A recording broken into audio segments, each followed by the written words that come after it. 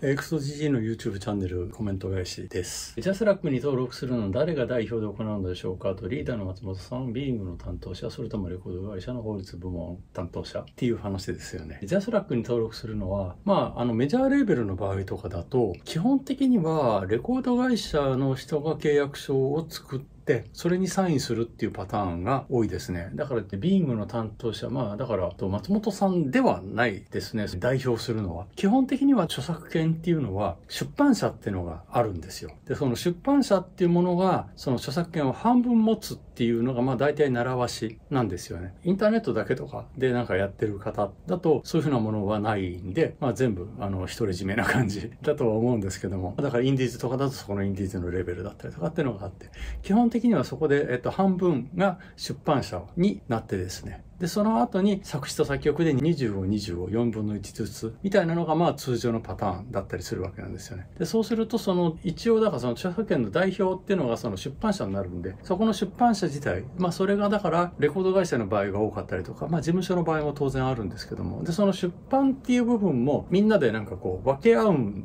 ですよね。まあそれは利害関係の部分だったりとかするんですけども、まあ例えばだからまあ事務所とレコード会社と半々で、それタイアップが絡んだりすると、そうするとそのタイアップっての会社、まあなんか富士パシフィック音楽だったりとかテレ朝ミュージックだったりとか、そういうところに権利を振るわけなんですよね。で、そういうふうな部分で、じゃあこのタイアップをするんだったら、えっと、権利何パーセントにしましょうみたいな、そういうふうな方が駆け引きとかがあったりするんですよ。で、まあ出版を、だからそこのタイアップ先があると、結局それが売れれば売れるほど、そこの出版社も儲かるっていうことなんで、でそうするといっぱい流そうっていうモチベーションになるじゃないですか。そんな感じでこう振るわけなんですよね。で、そうするともう本当にだからこう利害関係者がいっぱいになって、で、その中でもう誰を代表にするかみたいな部分があるんですよ。で、まあそれで代表出版社っていうのがあったりとかして、まあなかなか複雑な感じになっています。なのでまあジャスラックに登録するのはそんな事情になっています。わかりづらいですよね。本当に。まあね、金絡むとね、なかなか難しいですよ。はい、ありがとうございます。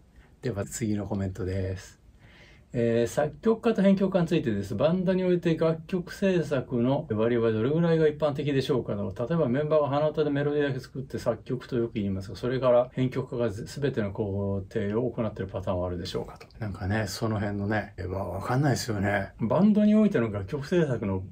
割合はですね、まずケースバイケースです。めちゃくちゃ。でも割と僕がやったパターンとかだと曲を作った人のデモがあって、で、そのデモっていうのがもうアレンジできてるわけじゃないですか、ある程度。で、それをだから、とりあえずコピーして、そこからだから自分の手癖だったりとかなんかそういう風な部分。で、ちょっとずつなんか自分なりに変えていくみたいな。まあそれがだから俗に言うバンドアレンジみたいな感じなんで、まあ昔のバンドアレンジとかだと曲を作った人がなんか弾き語りでこう弾いて、それに対してこうコード譜を渡して、で、みんなでちょっとじゃあ合わせてみようぜみたいな感じでやって、で、だんだんできていくみたいなのがまあバンドアレンジみたいな感じなんですけども、まあそういう人たちも今でもいるとは思うし、それも全然いいと思うんですけども。まあ僕がだから B'z でやってた時とかは、基本的には最初のうちだけはその松本さんのデモをそのままやってっていうので、あとはもう松本さんがその弾き語りをやったやつ、それを聞いてそれに対して僕は打ち込みで作っていくっていうパターンだったりするんですよね。だから B'z の場合は鼻歌でメロディーだけ作れば作曲っていうよりは、えー、どっちかっていうと、その鼻歌でメロディーを作ったのと、コード進行とかまでえ全部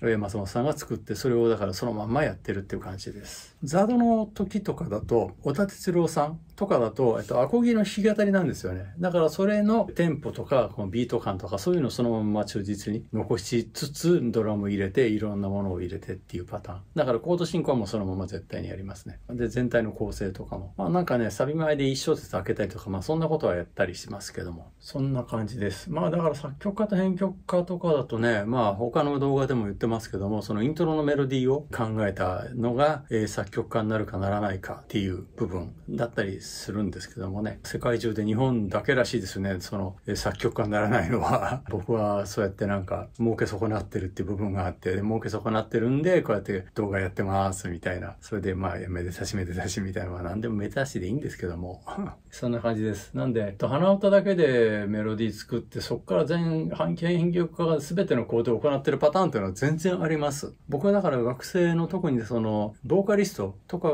が作ってるのの音源とか作るときはもう完全にそのパターンですね。まあそれはそれでコードから考えるんでね、めちゃくちゃなんかこういろいろテンションをうまく使ってなんかやるんですごい楽しいんで、意外とそっちの方が好きだったり、どっちもいいですけどね、さ、その元のデモを活かしてなんかこういろいろやる。それもだから自分のカラーっていうよりは、この曲がどうなりたいかなっていうのをなんとなく感じて、それに対してこうやっていくみたいな、そういうふうな感じがまあ僕の考え方。まあそれはだからビーズやってる頃とかもそんな感じでしたね。はい、ありがとうございます。